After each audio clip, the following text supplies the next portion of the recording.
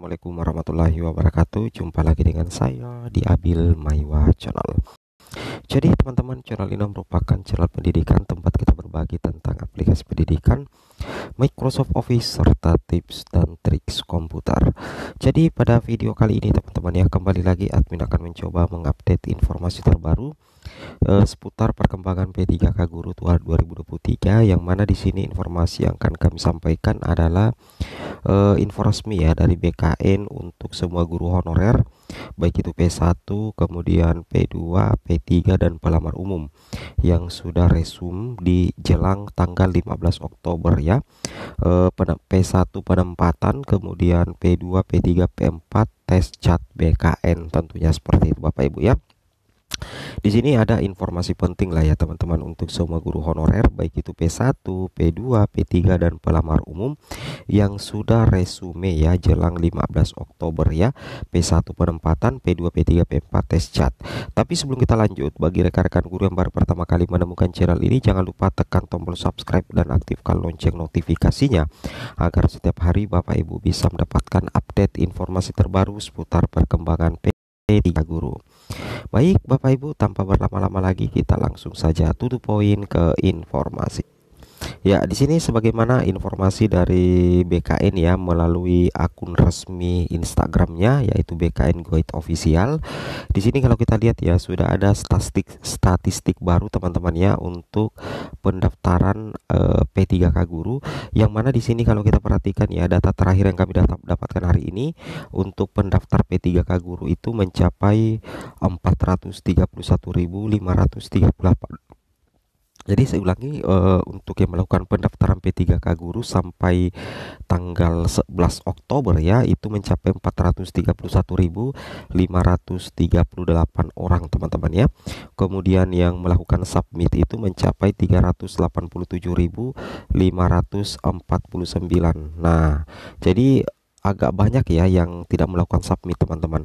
Kemudian justru di sini kalau kita perhatikan data baru dari BKN yang memenuhi syarat itu baru 200 279.000 lebih ya 279.009 orang. Jadi masih ada mungkin beberapa data uh, pelamar P3K guru yang belum masuk sih teman-teman ya.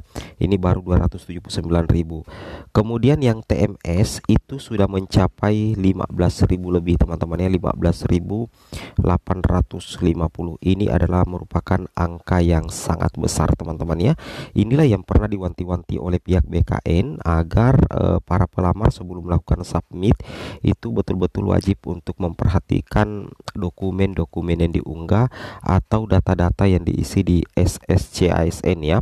Karena yang TMS ini atau tidak memenuhi syarat berarti ada besar kemungkinan ada kesalahan pengunggahan dokumen mungkin teman-teman di dalamnya ya atau memang tidak memenuhi syarat untuk uh, pendaftaran seperti itu ya.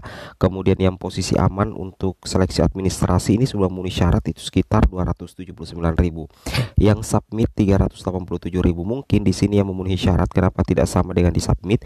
Mungkin masih ada beberapa uh, beberapa data yang sepertinya sementara direkap oleh pihak BKN teman-teman ya seperti itu. Jadi yang TMS ini sudah mencapai 15.850 teman-teman ya. Bayangkan ya Wow. Nah, sedangkan kalau data terbaru juga kalau kita perhatikan di sini untuk jumlah pelamar yang submit ya teman-teman pada instansi dengan kebutuhan P3K guru top 5 daerahnya silakan teman-teman cek daerahnya di sini e, provinsi pemerintah provinsi Sumatera Utara ini uh, memegang ya memegang uh, peringkat pertama untuk jumlah submit terbanyak ya 10.079 kemudian disusul uh, pemerintah Kabupaten Bima 6.267 pemerintah uh, Provinsi Lampung ya 6.249 pemerintah Provinsi Jawa Barat 5.616 kemudian uh, ada pemerintah Jawa Timur juga teman-teman ya yang mencapai uh, 5.472 sedangkan di bawah sini ada juga yang paling rendah teman-teman ya pemerintah Kabupaten Yalimo baru 17 yang submit ya per hari ini.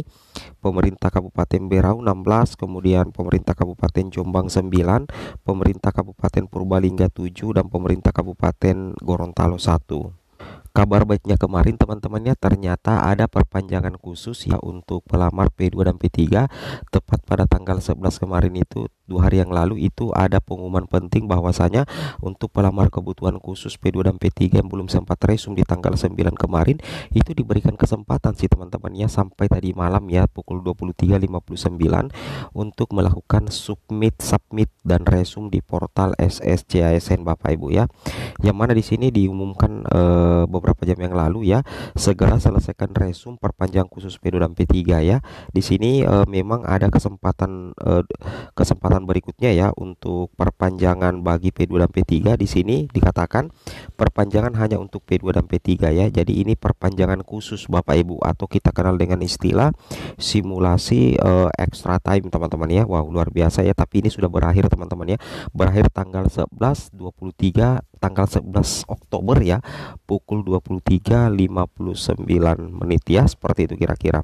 Nah di sini kita uh, berikan informasi tambahan ya di uh, salah satu daerah juga teman-teman ya di sini menginformasikan bahwasannya uh, ada informasi penting juga yang wajib untuk teman-teman simak juga ya di gpnn.com teman-teman ya.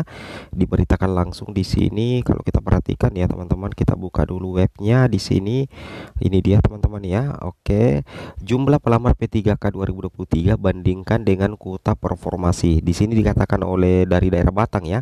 PLT Kepala Badan uh, Kepegawaian Daerah Kabupaten Batang Dwi Rianto menyebutkan jumlah pelamar P3K 2023 pada masing-masing formasi hingga 14 Oktober siang hari ya. Dewi menyebutkan hingga Rabu siang hari ada beberapa formasi P3K 2003 masih kosong.